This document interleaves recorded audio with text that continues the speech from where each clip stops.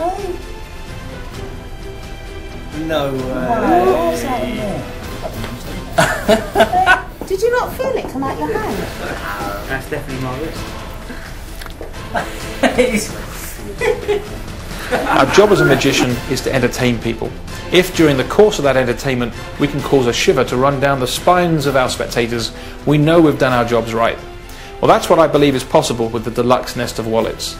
It's very, very practical. It resets immediately. It is incredible magic that happens right under their noses.